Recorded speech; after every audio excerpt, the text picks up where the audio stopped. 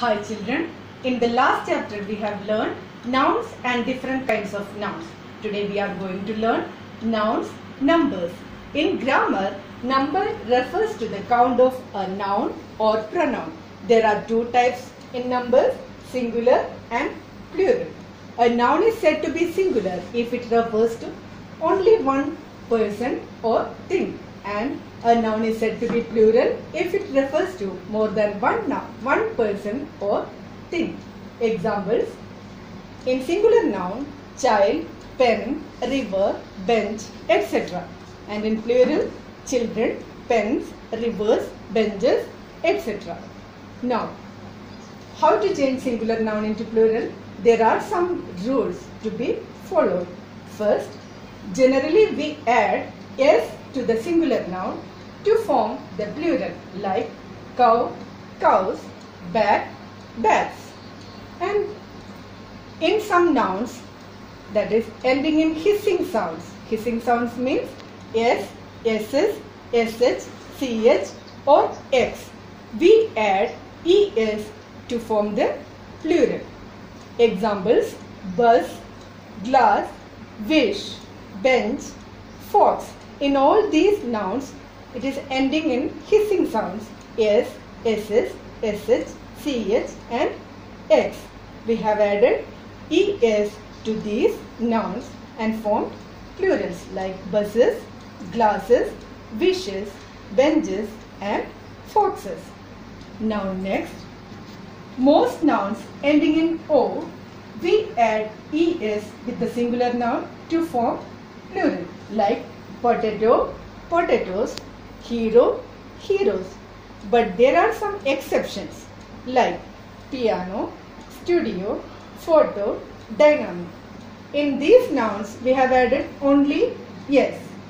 Now next, most of the nouns ending in f or fe, we change that f or fe into ves like leaf ending in f, life ending in fe.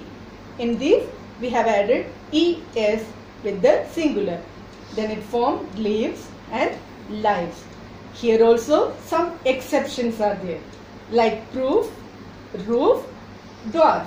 In these nouns we have added only s with the singular noun to form plurals. Now next, when nouns end in consonant plus y, that means before y, if there is a consonant letter, then we change this y to ies like army, armies, baby, babies. Now next, when noun ends in vowels plus y, that means before y if there is a vowel, vowel sound, then we add s to the singular noun like monkey, monkeys, toy, toys. And all these examples or all these rules we have added s or es with a singular noun. But some nouns are there, they form plurals by adding suffixes other than s or es like child, children. Here we have not added s or es, we added ren with child to form its plural. Next, there are some nouns to form their plurals by changing a single letter or several letters of the singular form like mouse, mice, woman, women. Next, some nouns do not change in their plural form. Singular and plural will be same like sheep, fish, deer, etc. And at the last, there are some nouns which have only singular forms like furniture, news, information, mathematics, etc. From this news and mathematics, we see that it is like plural noun but we use always in singular form. Now from this chapter we have learned singular noun and plural noun and how to change singular noun into plural noun. So there are some points to be remembered. like some nouns always used in plural. They are trousers, spectacles, shoes, scissors and jeans.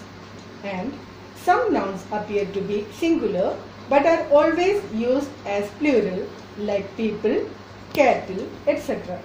And some nouns always used as singular like scenery, furniture and advice. And some nouns appear as plural but are used as singular like politics, mathematics, news, measles, etc. And some nouns same form in the singular and plural like sheep, deer, fish and aircraft. I hope you have enjoyed this video.